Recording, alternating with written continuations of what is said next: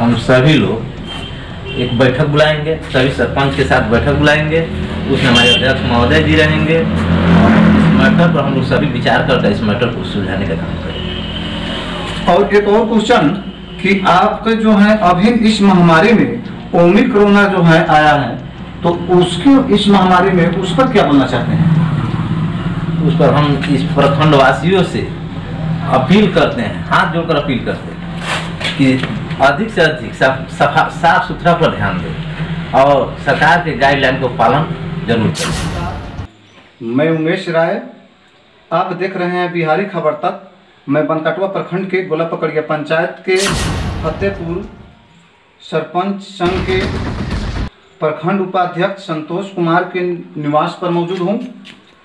हम संतोष कुमार जी से, उपाध्यक्ष जी से कुछ बातचीत, कुछ मुद्दे पर बातचीत करते हैं। संतोष कुमार जी आप उपाध्यक्ष बने हुए हैं। ये बतलाइएगा कि आपके प्रखंड में कितने पंचायत पड़ता है?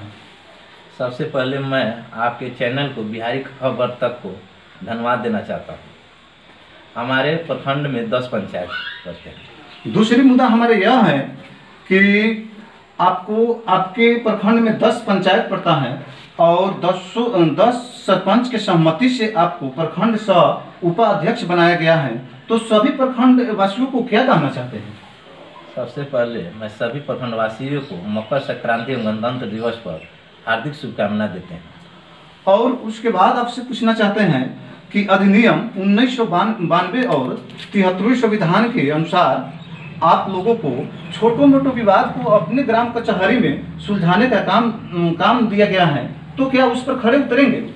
एकदम बिल्कुल खड़े उतरेंगे और सुलझाने का भी काम करेंगे और तिहत्तरवें संविधान के अनुसार सड़क का रख रखाव पशुपालन का देख रेख दाह संस्कार का प्रतिष्ठान का देख रेख गरीब बच्चों को मुफ़्त में शिक्षा देना प्राथमिक विद्यालय को बढ़ावा देना संपूर्ण बात आ, लेकिन आपको पावर दिया गया है तो क्या इस पर खड़े उतरेंगे?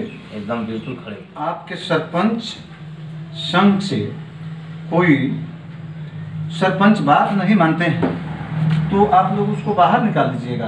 अभी के एक एग्ज़ाम्पल है इस जमाने का। बेटा जो है बाप का बात नहीं मानता है तो इस पर क्या कहना चाहते हैं?